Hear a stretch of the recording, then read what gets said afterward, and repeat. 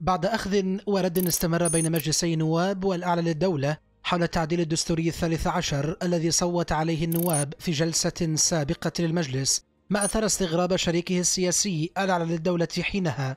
الأصل في الإجراء أن يحال التعديل بشكل رسمي إلى المجلس الأعلى للدولة. حيث جاء على لسان النائب الأول للمشري ناجي مختار أن عددا كبيرا من أعضاء المجلس لم يكونوا على علم بالتعديل الدستوري وأن لديهم حق الرد بعد إحالة النسخة النهائية التي ينتظرون تسلمها وهو ما حصل. فها هو النائب الثاني لرئيس المجلس النواب الهادي الصغير يؤكد في تصريح للأحرار إحالة التعديل الدستوري الثالث عشر للأعلى للدولة للتصويت عليه في جلسته القادمة. قائلا إن لجنة مشتركة ستشكل لوضع قوانين الانتخابات بعد توافق المجلسين على التعديل.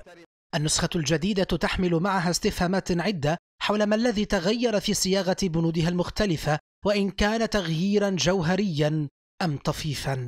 فبمراجعة البنود يتبين وجود تغيير في بنود التعديل الثالث عشر غير الذي صوت عليه النواب في جلستهم الماضية. انطلاقا من دباجته إذ نصت النسخة النهائية بعد التوافق والتشاور مع مجلس الدولة بدل تغيير ما اتفق عليه مجلسا النواب والدولة. التعديل في الصياغة شمل مواد عدة منها ما هو متعلق بترشح مزدوجي الجنسية للبرلمان والشيوخ حيث حدثت النسخة النهائية الاشتراط على العضو المترشح لمجلسي النواب والشيوخ عدم حمله جنسية أخرى وحذف بند منع مزدوجي الجنسية من الترشح لرئاسة الحكومة في النسخة النهائية.